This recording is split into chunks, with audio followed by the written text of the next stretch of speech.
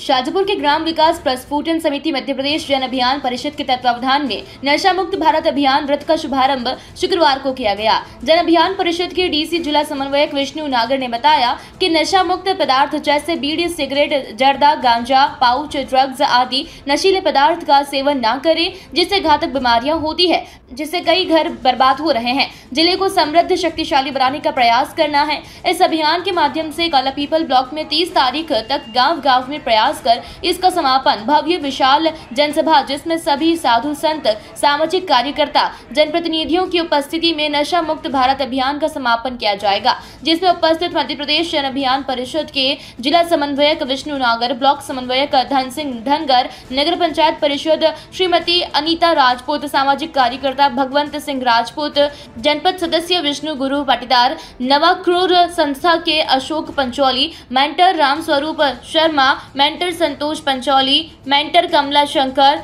ग्राम विकास प्रस्फुटन समिति के अध्यक्ष सामाजिक कार्यकर्ता अरुण बरेठा, समिति सचिव लखन लाल प्रजापति, रामचंद्र पाटीदार, जगदीश कुशवाहा, अन्य सभी ग्रामीण जनों ने कार्यक्रम का आनंद लिया।